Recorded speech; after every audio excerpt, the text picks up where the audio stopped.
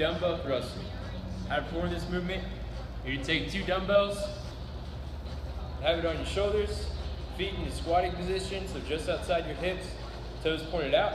You're gonna squat down, and then you're gonna explode up. I wanna try and keep my chest up the whole time.